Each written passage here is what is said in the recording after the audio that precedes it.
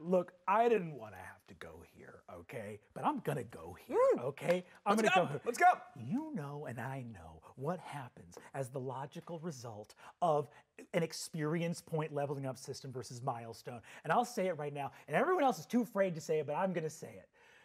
In the logistics of the world, which we've been talking a lot about logistics on this episode. You know, and I know that if you're not careful, a group of bozos will become demigods in an amount of campaign time less than three weeks. Oh no, the evil emperor says. A group of people met in a tavern last month, and now one of them is the most powerful cleric of the god of the sun in the world. How did this happen? I don't know. They found a cool dungeon that led to a forest with a little bit too many monsters. And now they are a match for every one of my generals.